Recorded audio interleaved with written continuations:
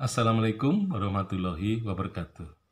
Pada tahun 1976, tim bulu tangkis putra Indonesia berhasil mempertahankan Piala Thomas di Bangkok yang pertandingannya diselenggarakan pada tanggal 4 sampai 5 Juni 1976.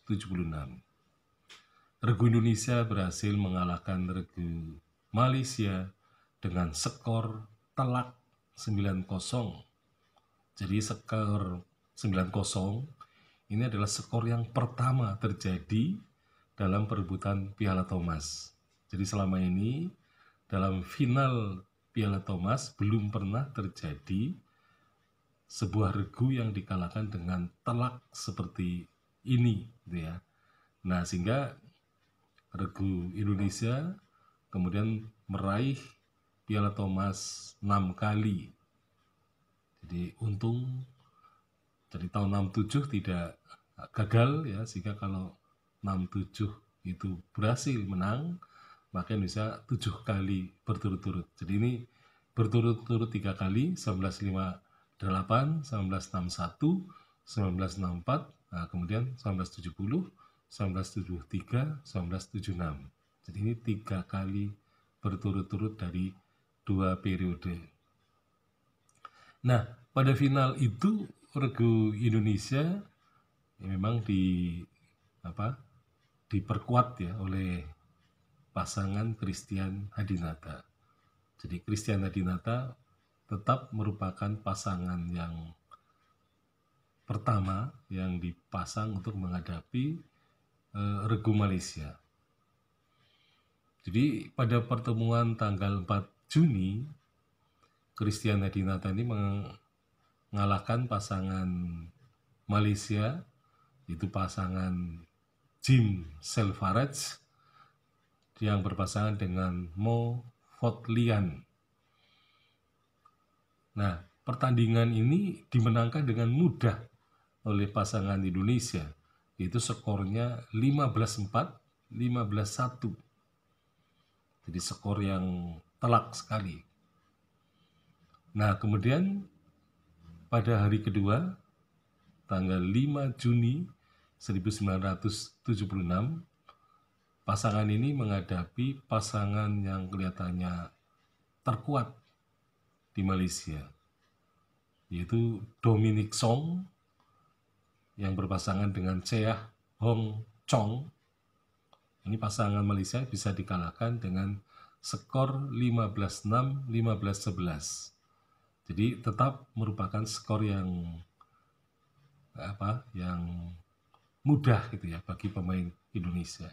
Jadi memang pasangan Christian Hadinata pun ketika membela tim Piala Thomas selalu bermain dengan sikap ya dengan cermat dan bermain sangat baik gitu ya sehingga tim Indonesia kemudian secara keseluruhan memperoleh skor 9 sementara lawannya kosong.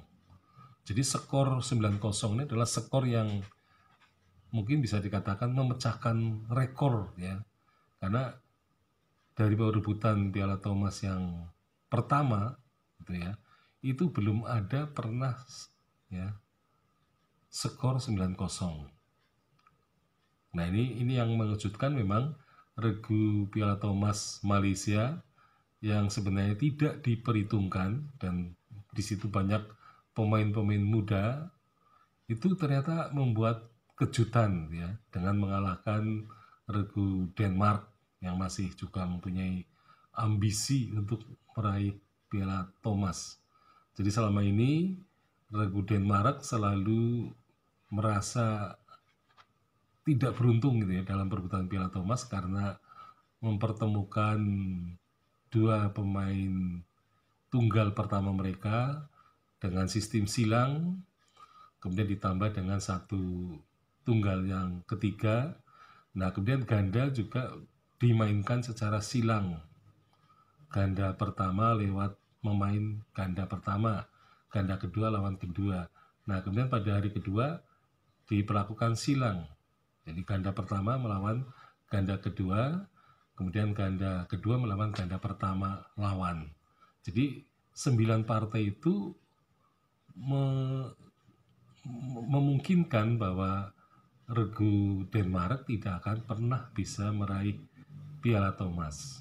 Nah, sehingga mereka mengeluh bahwa sistem sembilan partai itu akan sangat menyulitkan bagi regu Denmark untuk mendapatkan atau memperoleh Piala Thomas. Nah, sehingga mereka selalu menggunakan alasan itu sebagai suatu bentuk kegagalan.